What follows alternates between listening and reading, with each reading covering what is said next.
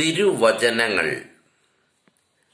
ആരും പുതിയ വസ്ത്രത്തിൽ നിന്ന് കഷ്ണം കീറിയെടുത്ത് പഴയ വസ്ത്രത്തോട് ചേർക്കാറില്ല. അങ്ങനെ ചെയ്താൽ പുതിയ വസ്ത്രം കീറുന്നു എന്ന് മാത്രമല്ല പുതിയ കഷ്ണം പഴയതിനോട് ചേരാതെ വരികയും ചെയ്യും. ആരും പുതിയ വീഞ്ഞ് പഴയ തോൽക്കുടങ്ങളിൽ ഒഴിച്ചു വെക്കാറില്ല. അങ്ങനെ ചെയ്താൽ പുതിയ വീഞ്ഞ് പഴയ തോൽക്കുടങ്ങൾ ഭേദിച്ച് ഒഴുകിപ്പോവുകയും തോൽക്കുടങ്ങൾ നശിക്കുകയും ചെയ്യും.